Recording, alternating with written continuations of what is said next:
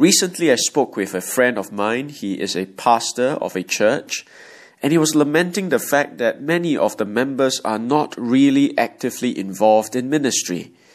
The church as a whole has a mindset that since they have full time paid staff workers, then they do not need to work or they do, do not need to serve God themselves. They just need to support the staff who will then do the work of the ministry.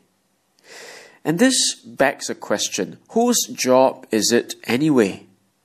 I believe one of the devil's lies, one of his more successful lies, is that he has been able to divide the church into what we call the clergy and the laity. The clergy represents the paid full time staff, the laity refers to the average worshipper. And the devil has said successfully and lied successfully to the Church of Jesus Christ that the work of God is reserved only for the full time clergy, but the laity can just sit back and watch the show. Is that really true?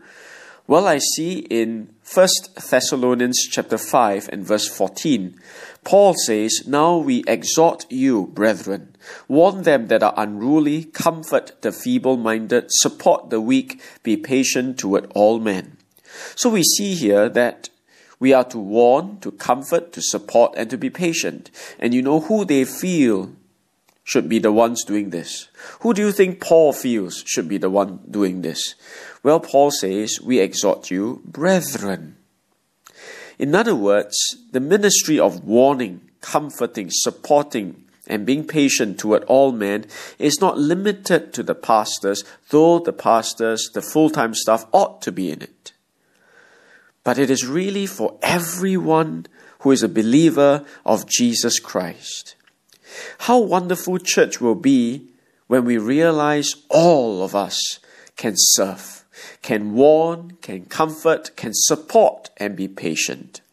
I pray today in your church, in our church, in the church of Jesus Christ, that men and women would stand up and be counted and say, This is our privilege, this is our joy. Let us warn, let us comfort, let us support, let us be patient toward all men, let us have the one another's.